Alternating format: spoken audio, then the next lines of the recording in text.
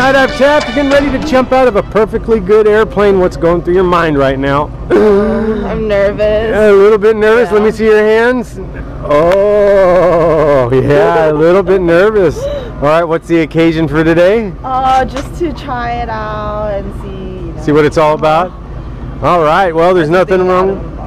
All right. Well, it's like sensory overload, like we discussed earlier. But like I said, you're going to get a lot of out of this experience. And if you can do this, you can do anything. Okay. Any shout outs to anybody that's going to watch this video? Um, to my parents and my sister and my friends. All right. Well, pretty soon we're going to get up, jump out, and fly like a superhero and land like a feather. Let's go have some fun, all right? Ah,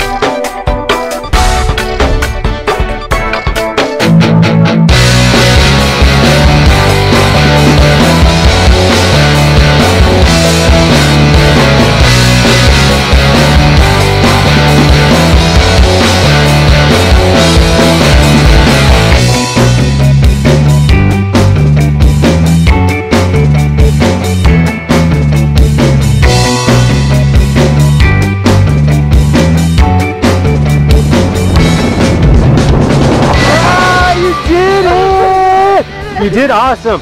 You were fearless. I'm very proud of you, my dear. Thank you for coming to Skydive Taft, the best place in the whole wide world to do a skydive.